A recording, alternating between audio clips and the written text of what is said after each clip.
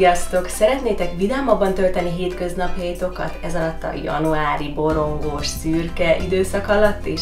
Arra gondoltam, hogy indítok egy olyan sorozatot, ami sok-sok pozitív energiát hoz majd a hétköznapjaitokba, ugyanis olyan kreatív ötleteket fogok itt bemutatni, ami nem csak az alkotás alatt ad pozitív energiát, hanem utána is. Gondoltam, hogy készítek majd motiváló falat, vagy motiváló feliratú bögrét, de ezeket írjátok meg, hogy szeretnétek-e látni, ha igen, akkor írjátok meg kommentbe nekem a videó alá.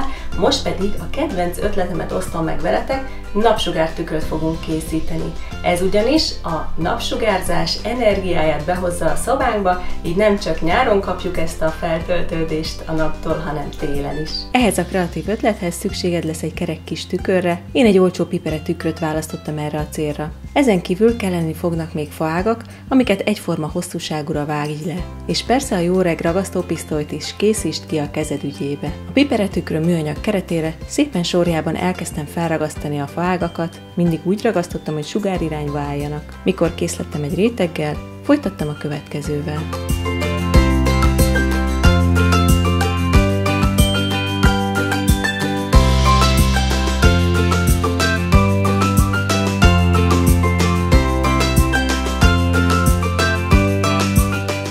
Ha egy picit borzasabb napsugártükröt szeretnél, akkor nem muszáj tökéletesen egyformára vágni a fágakat sem, lehetnek hosszabb, rövidebb darabok is benne, illetve vékonyabbak, vastagabbak. Én is emellett a verzió mellett döntöttem, használtam vékonyabb, vastagabb ágakat, mert szerintem ez imitálja a legjobban a napsugarakat.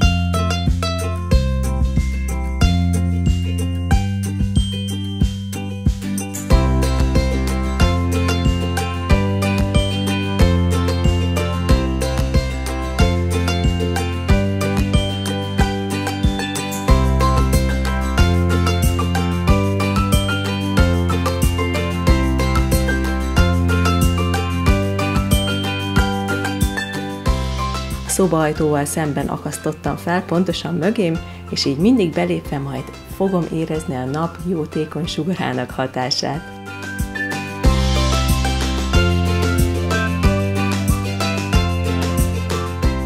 Remélem, hogy nektek is tetszik ez a napsugártükör, és elkészítitek. Ha tetszett videóm, feltétlenül nyomjatok egy lájkot, és írjátok meg kommentben, hogy legyen-e ennek a Hogyan legyünk pozitívak sorozatnak egy következő része, és ha igen, mit szeretnétek, hogy elkészítsek benne. Iratkozzatok fel csatornámra is, és akkor legközelebb is találkozunk. Sziasztok, szép kreatív napot!